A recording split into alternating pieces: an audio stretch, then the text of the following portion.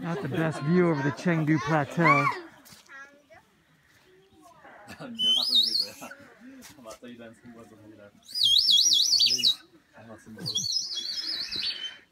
think we're nearing the summit here.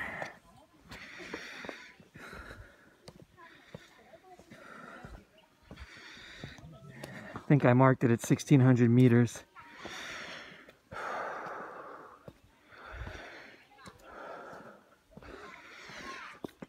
Which would be 3000 plus 18, 4800, so about another thousand feet.